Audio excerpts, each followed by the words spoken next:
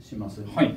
で音出しするための口の構えがアンブシュアというんですけど、はい。アンブシュアがですね、まあ、2種類あって、まあ、ダブルリップとシングルリップと、まあ、こっちここに書いてあるんですけどね、はい。ここにまあ似たような図なんですけどこれ上の歯下の歯上唇下唇こう加えてるのをこう顔の断面図と思ってください。で,、はい、でこの、えー丸はですね右手の人差し指です。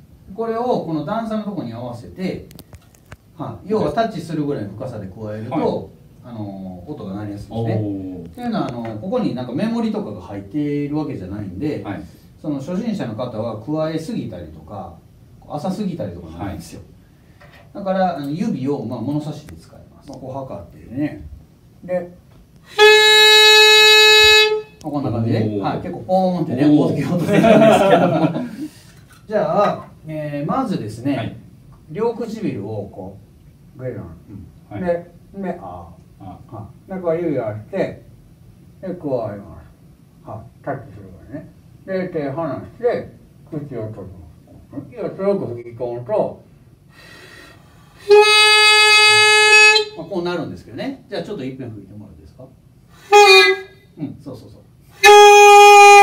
はいそうそうそう。おめでとうございますはいそんな感じで、ね。はいサックスはまああの管楽器の中で一番なりやすいんですけどね。おそうなんですね。はい、そうそう。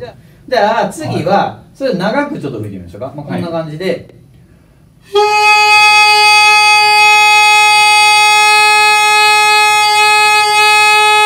お息が続く限り長くねわかりました。やってみましょうか。はい。はい。ねこれしっかり巻いて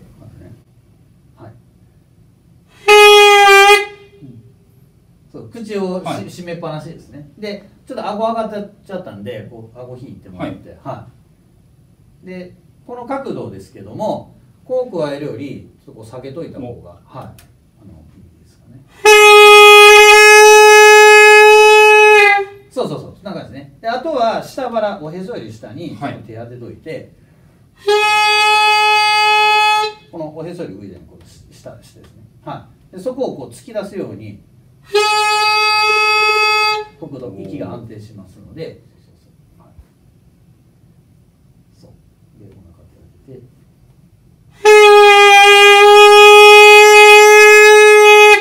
そうそうそう、そんな感じです。あもう十分ですよ。はい、十分ですか？あのむちゃよくできてる方あそうですかはい。じゃあ次は、はいこれで吹けたら、あの本体で吹くのは簡単ですので、あそうなんですね、はい。次本体でちょっといきますね。